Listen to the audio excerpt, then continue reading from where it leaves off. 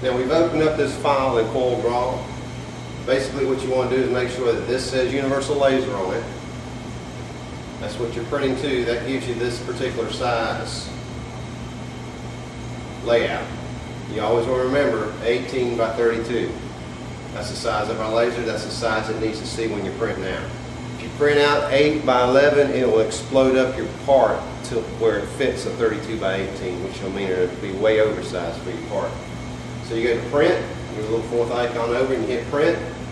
You bring it up, and sometimes it'll have something else other than the VLS 660. Right now it says Microsoft X doc, XPS document. Uh, disregard that. Just go down to where you see the VLS 6.60. Click on that. It automatically pops it up to the 18 by 32. Now, if you need to change your properties, this is where your properties are for your Universal Laser software. Before, you would have to be, this would be stacked on top of each other on one monitor, but now you can see two different monitors at the same time. So red is always vector, 0.001 or less, or hairline, for it to cut through.